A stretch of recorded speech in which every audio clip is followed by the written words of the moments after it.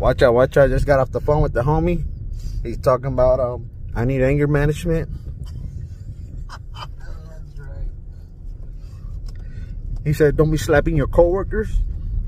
And he said, um, to go speak to a psychologist.